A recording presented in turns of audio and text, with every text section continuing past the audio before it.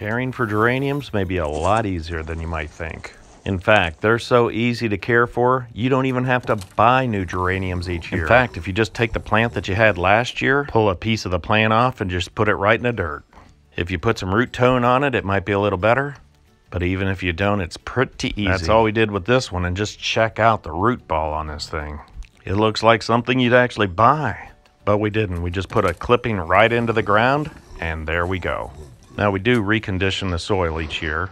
It's really easy. I'll show you what we do. We'll just take the pot from last year and we'll turn it upside down. Now at the bottom of the pot, there's rocks. These ensure that everything drains properly. So we'll pull these back out and put them at the bottom of the pot again.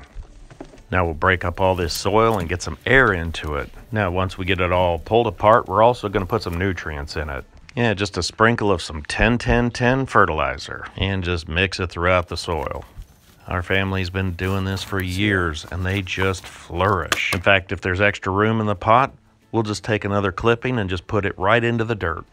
And around midsummer, these pots will be completely filled with flowers.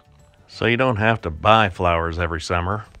Just make new plants and loosen up the soil. And at the end of the season, just bring the plants inside, give them a little bit of light and a little bit of water.